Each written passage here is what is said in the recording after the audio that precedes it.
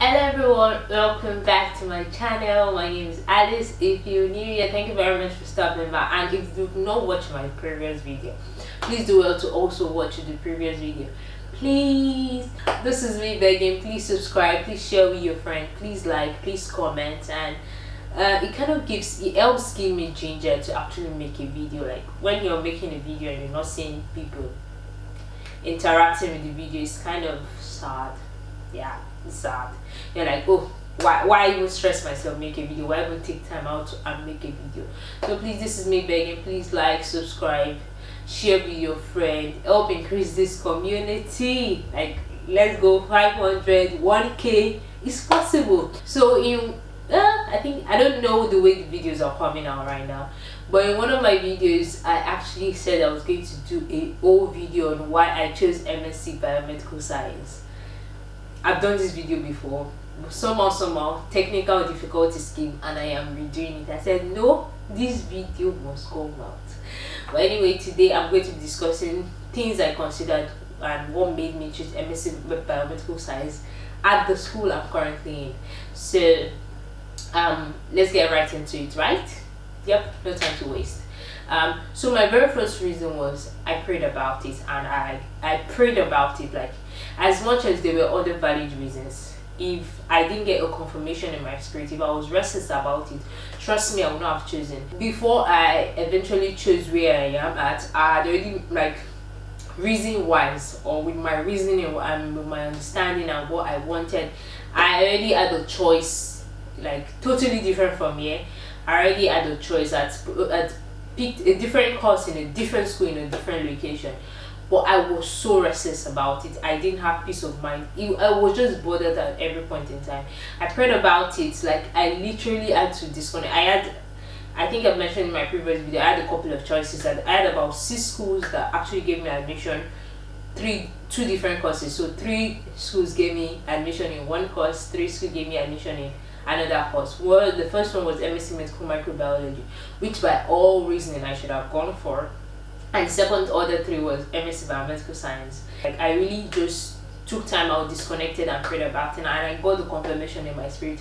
And trust me, from the day I made that decision um, till now, I have not regretted at any single point. Trust me, there have been no regrets. And like, not one survivor said, oh, I wish I didn't choose this school. There have been no regrets so far. And I'm super grateful about it. So prayer was very important for me because it was like, what sealed the other reason? Was like the seal it was like my confirmation that okay yes this is the school. So my number two reason was i wanted to give myself an opportunity to learn and relearn again.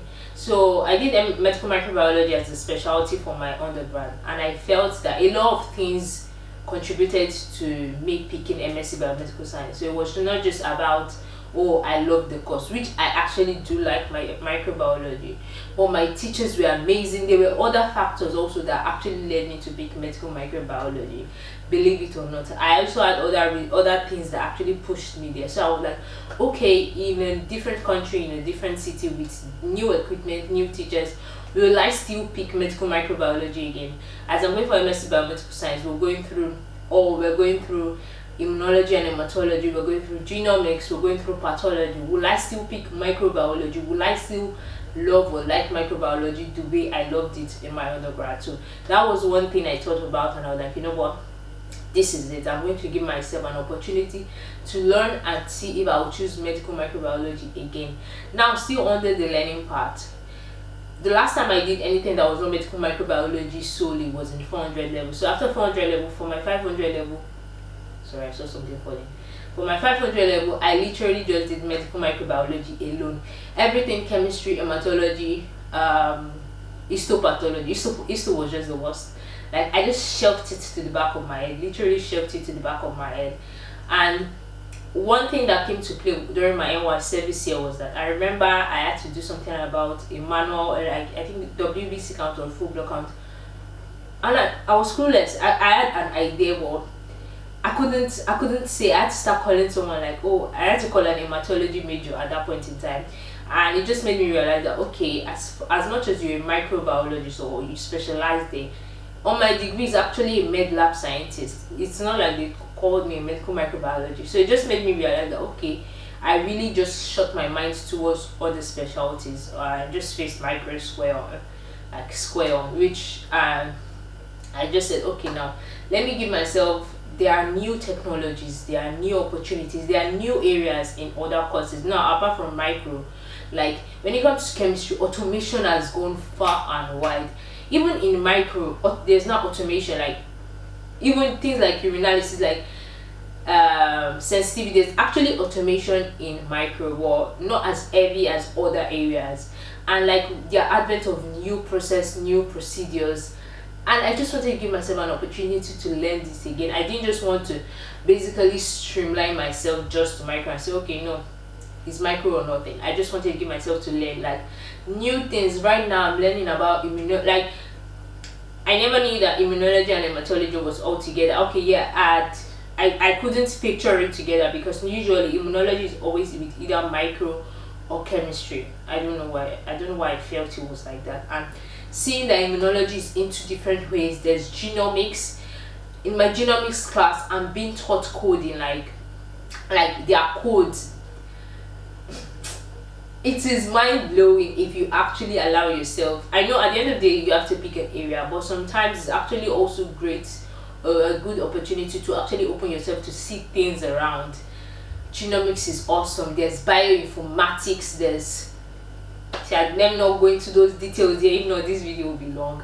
So basically, giving myself to an opportunity to learn again.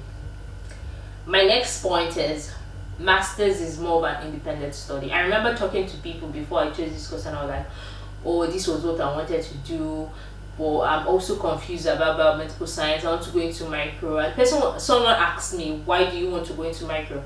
And I was like, um, I want to learn learn more things. It was like learn what? Let's be specific. Learn what? Do you want to learn a new organism or are you trying to learn a new way of doing sensitivity or what exactly do you want to learn?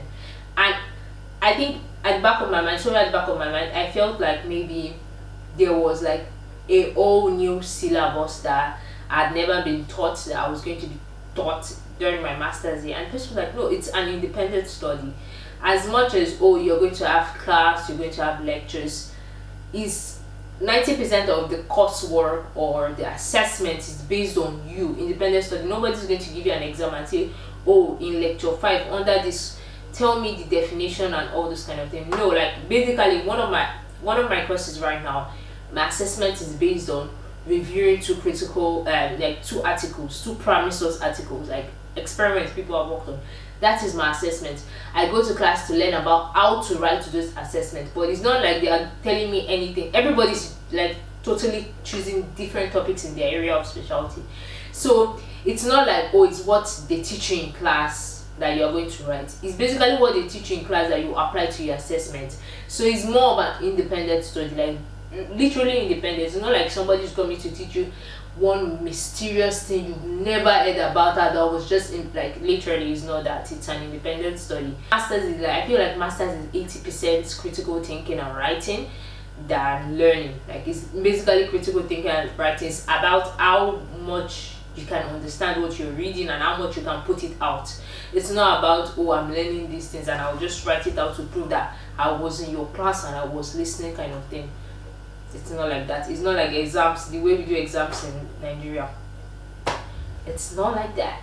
Trust me it's not like that. So basically the lectures are just aids for your final assessment. It's just that the only difference right now is that you have more resources at your fingerprints like more resources better resources than we've ever been exposed to. So more resources more exposure and you can actually see more applications of these things to actually apply to your new field or to whatever field you finally find interesting.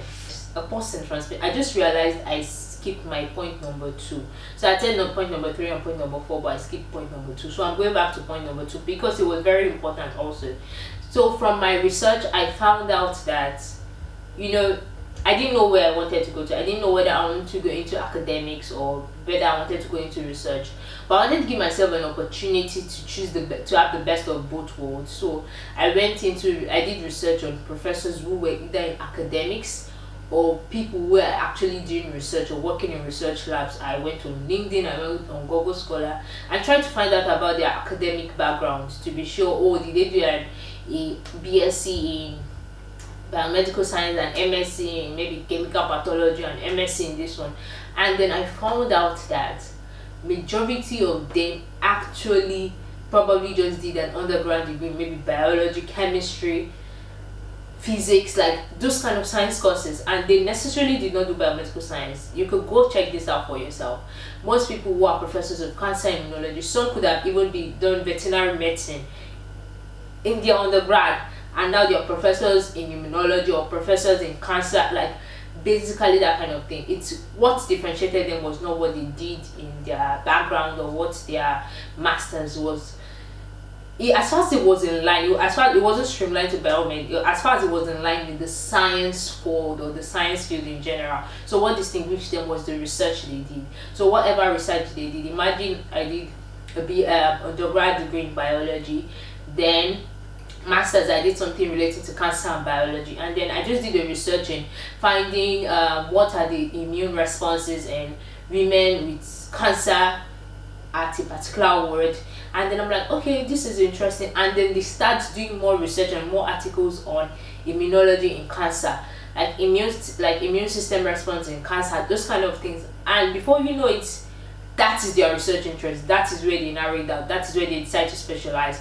So their research interest was important. And if you check out most of the professors um biograph or when they talk about them they always tell you their position or what they are doing and their research interests before their academic history.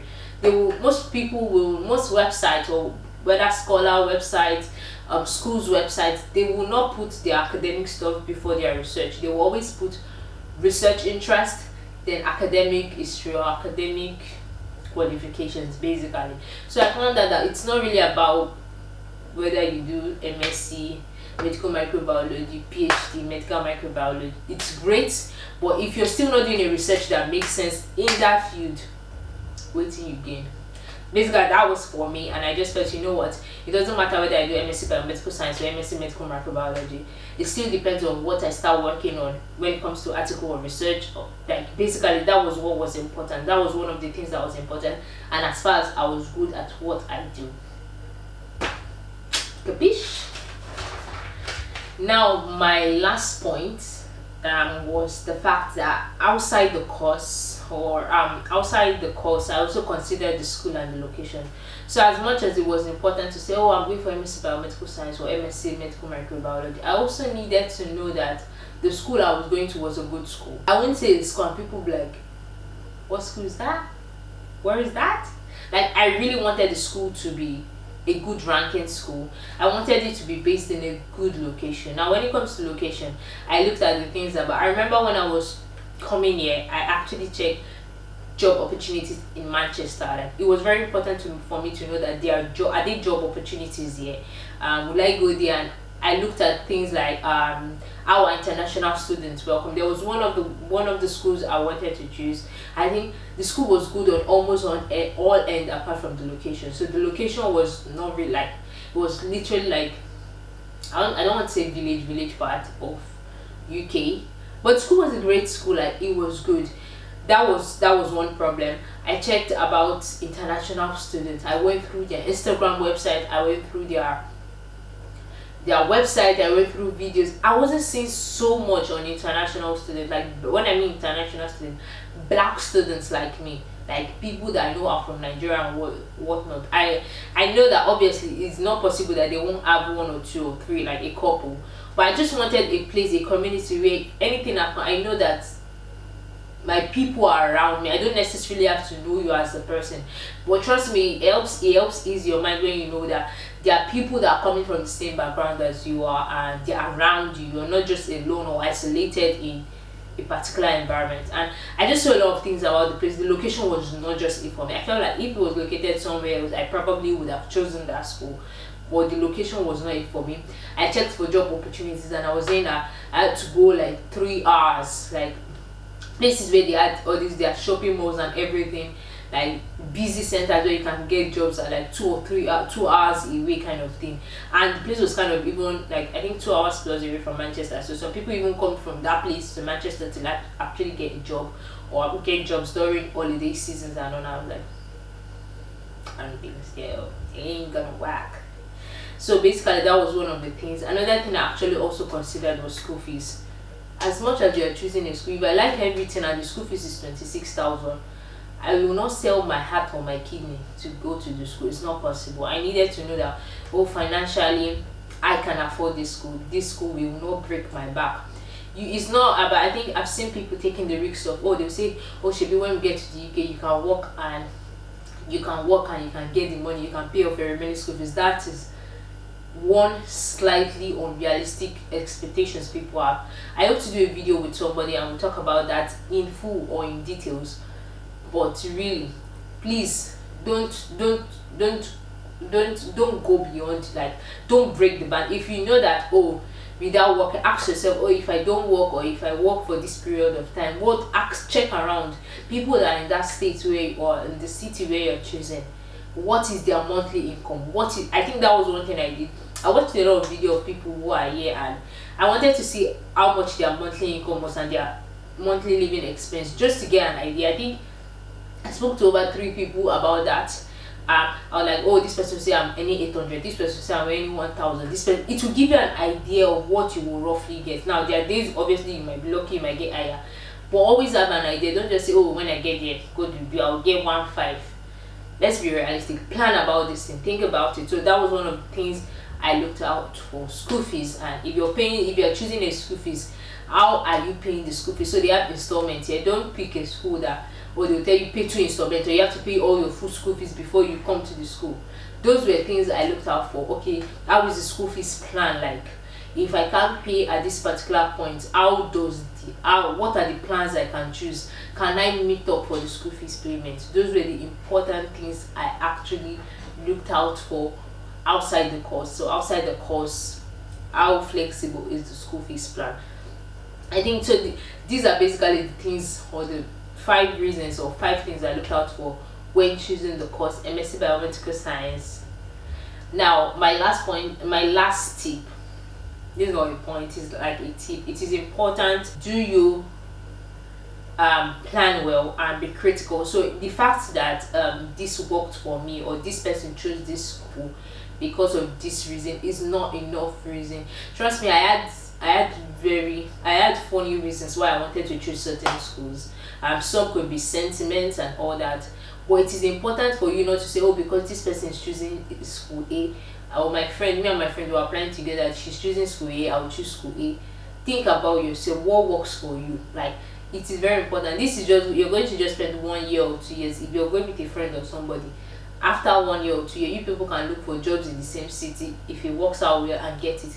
But don't make an important decision. Don't make an important decision such as you know picking your school or picking where you're going to work for um, where you're going to school for next one year based on flimsy excuse of sentiments basically. Because at the end of the day now you go suffer you will be the one yeah you will suffer. No i will not say you will not say oh i can't pay the school fees and something. You are the one that will still suffer the brunt of it. So whatever you do think well think smart critical critically think about it and most importantly pray about it that's all i can say for this video thank you very much for watching if you watched this far if you have things you would like to ask me you want me to make videos on please do well to put them down in the comment section in the comment section down below things about medlab things about survival because survival mode is is real here but I'm most likely to do a video. I'll see subsequently. I'll do more videos, push out more videos. I'm trying to be consistent in this to help a sister. But if you want me to do a video about something, put it down in the comment section down below don't forget to like subscribe if you've not thank you very much for watching stay happy stay